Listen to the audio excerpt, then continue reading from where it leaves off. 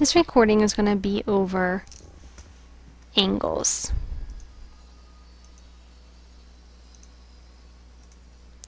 Alright, when you're talking about angles, um, we need to figure out what an angle is.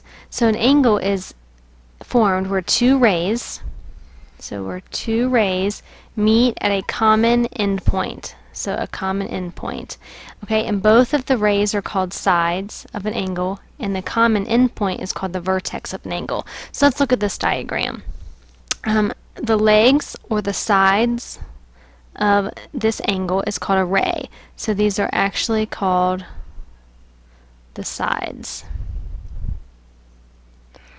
And where these two sides come together, right here, is called the vertex. Okay, The vertex will always be in the middle of an angle.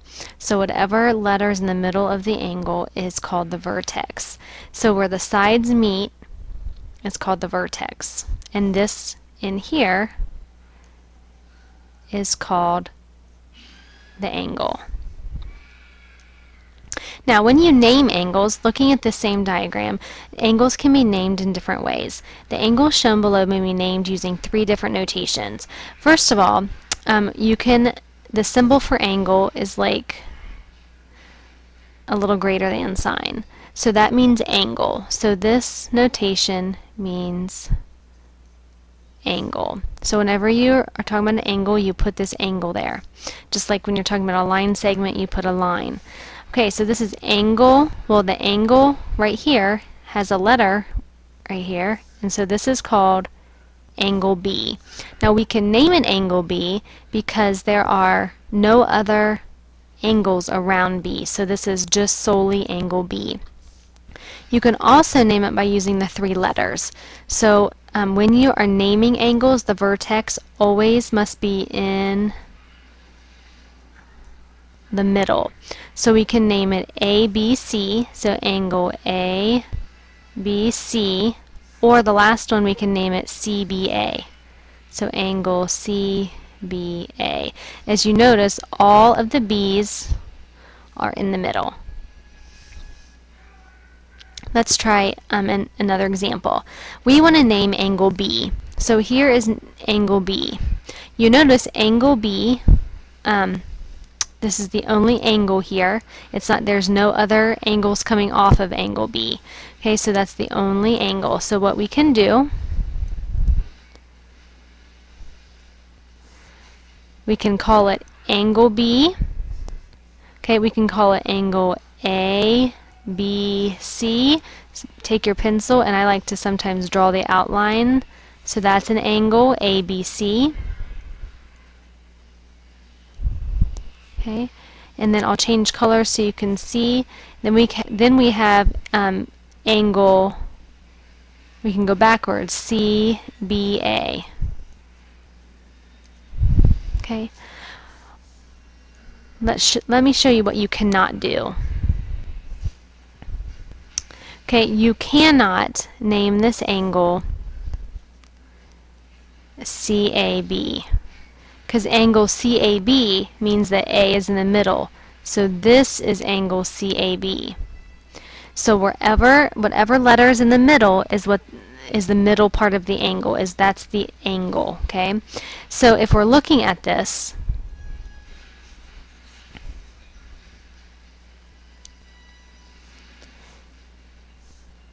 This is angle CAB.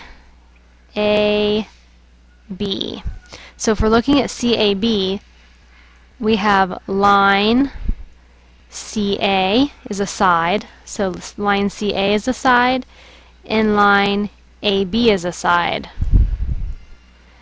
Okay, and we have angle A. Now, if we're talking about what we did beforehand with angle B,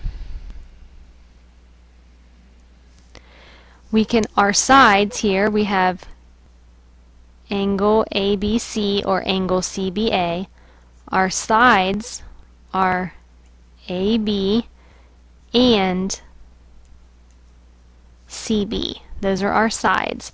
And our angle is B, or our angle is ABC, or our angle is CBA. So those are the ways that you can name an angle. Let's try another example. Let's name angle C. So the first thing we can do is see if there's any other angles around angle C, and there's not, so we can name this angle C. We also can name it ACB, and we can also name it BCA.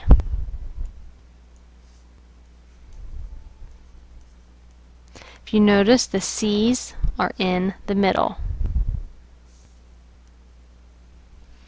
Okay, our last example here. It says name angle E in six different ways.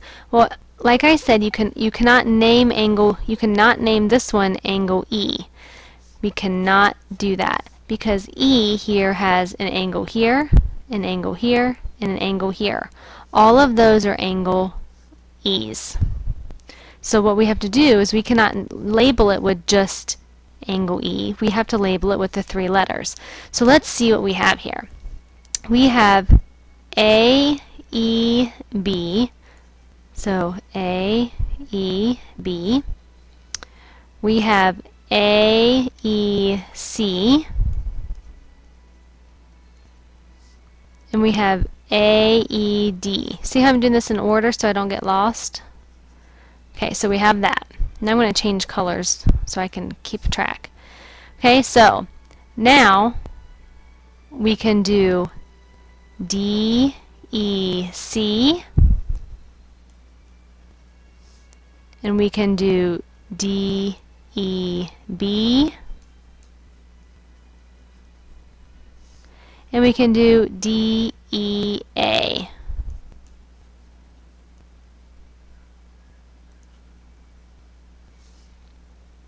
and we can do oh these two are the same aren't they? AED and DEA so we're going to scratch that one off. We can do B E oh we did BED oh I found one. CEB that one was kind of hard. So we use CEB so we have let's see here if we can make this make sense. Okay, so we have AEB, AEC, AED. Okay, then we have CEB, DEC, DEA, I think that was it. So those are our six angle E in six different ways. Hopefully this has helped you understand um, angles. Remember the vertex, this is very important, equals the middle of the angle or the middle letter, okay? And the sides are the rays. Okay, so if we have a triangle, ABC, Here's angle B, angle A, and angle C. Okay, and you can all you can name those by just the angle A, angle B, or angle C, or you can name them using the three letters. Okay, if you are still confused, you can look through the written part of the lesson or call your teacher.